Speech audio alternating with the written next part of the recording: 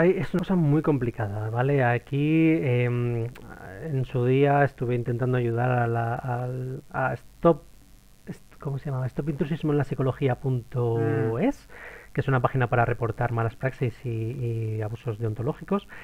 Y en su día, pues me estuvieron comentando que es que se dan situaciones, se pueden llegar a dar situaciones estrambóticas, como que eh, un, decano de un colegio de psicólogos alerte contra las malas praxis de un psicólogo colegiado, que este psicólogo le denuncia competencia por hacer, eh, digamos, eh, por hacer publicidad negativa sobre su empresa, perder el decano tener que pagarle una indemnización de más de 100.000 euros al charlatán. O sea, el mundo al revés, ¿no? Básicamente eh, se encuentran con casos con que ellos mismos no tienen las herramientas suficientes para atajar esto. Es, pero esto es en el rarísimo caso de que se decidan a hacer algo, porque lo normal es o que no hagan nada, es decir, que tengan una indiferencia total ante el problema.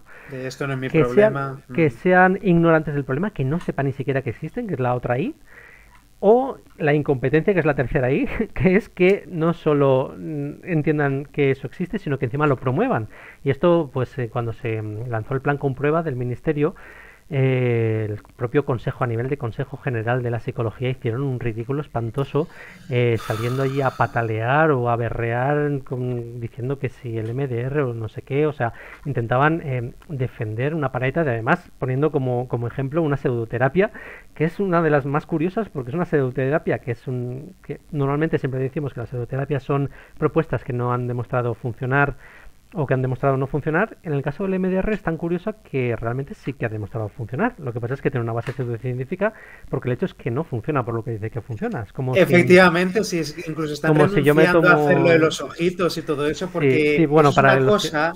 Para los que no sepan un poco de qué va, el MDR es el Ice Movement, Ice Movement eh, Desensitization by Reprocessing, reprocesado de desensibilización por reprocesado de movimientos oculares. Digamos que cuando tienes un, sobre todo en síndromes postraumáticos se usa, cuando tienes un impacto así que te deja en un shock postraumático, eh, lo que viene a decir esta propuesta es que tú se lo cuentas una y otra vez a tu terapeuta mientras él te dirige con los dedos o con una varita los ojos hacia un lado o hacia otro, porque supuestamente eh, cuando tú estás mirando esa parte, bueno, cuando te pasó el trauma, tú estabas mirando hacia un lado o hacia otro, entonces se, se, codificó de una manera especial en ese lado del cerebro que en ese momento procesaba las señales, entonces mm, eh, dándole un poco de, estimulando esa, parte cerebro si hago eso. estimulando esa parte se, se recuperan mejor esas memorias y se liberan mejor.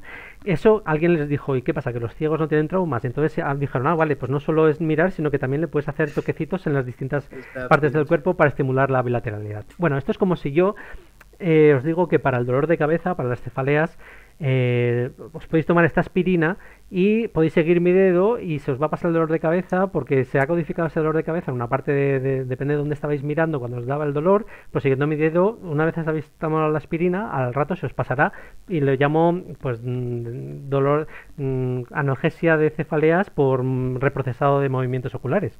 Que es que vale eso va a funcionar se te va a pasar el dolor de cabeza. Tú con un ensayo clínico vas a poder ver que efectivamente tenías dolor de cabeza y efectivamente te ha mejorado ese dolor de cabeza pero no por, por la base absurdamente tonta que te he dicho, sino porque en este caso, al estar todo el rato comentando, o sea, volviendo a exponer tu, tu trauma ante el psicólogo, lo que estás haciendo es una terapia de reexposición al trauma, de desensibilización por reexposición al trauma clásica. Es decir, cuando quitas la parafernalia de los movimientos oculares, la cosa queda absolutamente igual, los resultados son indistinguibles. Y ahí es un poco donde está la trampa. Bueno, pues el Consejo de General de Psicología de España haciendo el ridículo, defendiendo, defendiendo esto en la presentación del plan con prueba, que fue muy bochornoso. Y si esos son los que llevan las riendas, pues nos podemos imaginar cómo está el resto, ¿no? Coaching, eh, sectas, eh, de todo he visto, ¿no? Reiki, péndulo hebreo, astrología, he visto de todo como supuesta terapia de por parte de colegiados.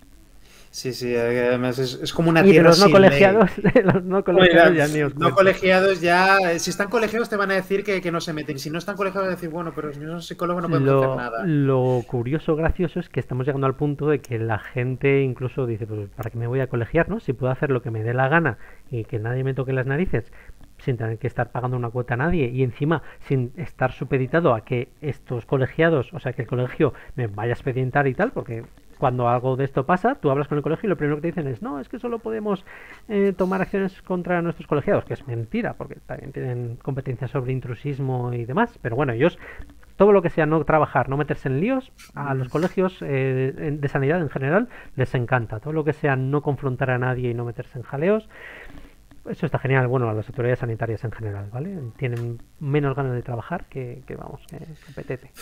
Claro, luego también nos encontramos, como tú has dicho, ¿no? Con la, la frustración de los profesionales de verdad que dicen, pues mira, si es que como no denuncian el intrusismo, como cualquier cosa vale, si es que parece que voy a tener incluso menos problemas si además ni me colegio, ¿no? Entonces... Es que es así, es que es así.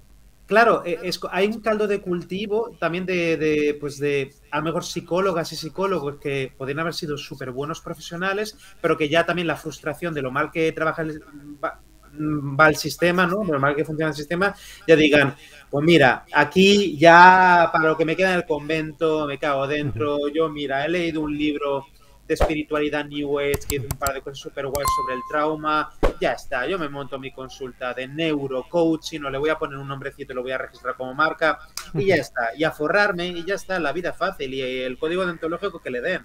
Y, es que es lo que, lo que acaba derivando todo esto. Yo todavía estoy esperando que en algún momento todas estas asociaciones que hay de psicología basada en la evidencia o de psicología científica, pues intenten tomar las riendas o las nuevas generaciones intenten estar un poco más atentas a esto, eh, intenten dar un poco el golpe de efecto colegial, ¿no? De postularse ellos a las juntas y limpiar un poco la casa desde dentro. Pero bueno, está claro que actualmente pues hay gente ya pues eh, incluso eh, como, perdón, que están mis hijos por aquí, como ah, parte de los de los de las juntas actuales y tal, pues hay muchos amiguismos, mucha gente que vive de esto, a veces incluso los propios familiares de los directivos de las juntas que, que, que ves que son coach, ves que la pareja del director este, del decano este es coach, y dices, madre mía, ¿cómo va a luchar contra esto, no? Lo normal es que pase lo que está pasando, que es que defiendan que cualquiera coach o con título y sin título pueda meter mano en la salud mental de terceros sin, sin ningún tapujo y sin ambajes. Sí, es totalmente, totalmente reconocer, ¿no? Como tú has dicho, ¿no? También hay conflictos de intereses que muchas veces nos encontramos que eh, es que están tota-, no solamente no es que los colegios de sanitarios hagan la vista gorda, es que muchas veces están metidos dentro de los consejos de administración y de, las juntas de ciertos colegios. Entonces ya eso no lo vas a tocar en 20 años. Hay ejemplos como